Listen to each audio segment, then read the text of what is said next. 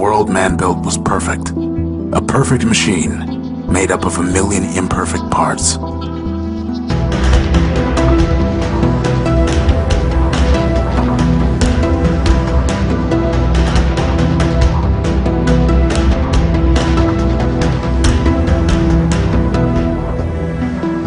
As long as we performed our functions, the machine ran smoothly.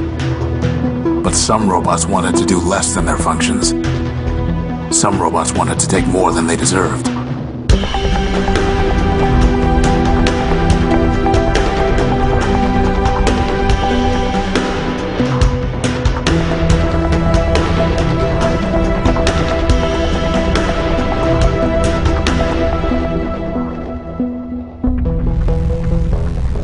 This world won't be saved until man returns and formats it afresh.